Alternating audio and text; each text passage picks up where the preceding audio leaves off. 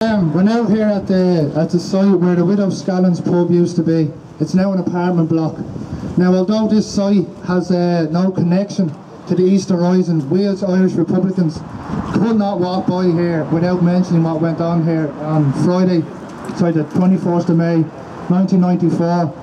Um, the Widow Scallan's at the time is where many Republicans in Dublin held their ballot sessions, and after commemoration, we always went back to uh, the Widow Scallan's. And on that night, the UVF came to basically plant a bomb in the pub. Volunteer Martin Doc O'Doherty, he uh, confronted him, and unfortunately, he lost his life. There's no doubt that night that Martin Doherty saved about 100 people's lives. He uh, very bravely faced down. He was unarmed and he bravely faced down two or three armed UVF men who were trying to plant the bomb.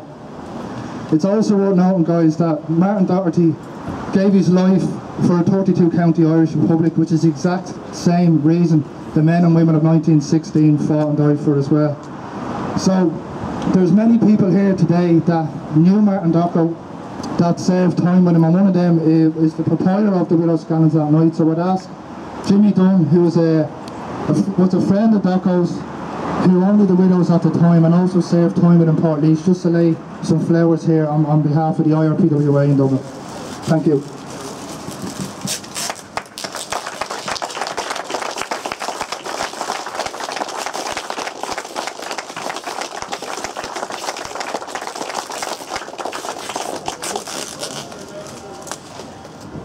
So guys, we're just going to keep walking down to the next set of lights and we're going to take a right onto Macken Street. Thank you.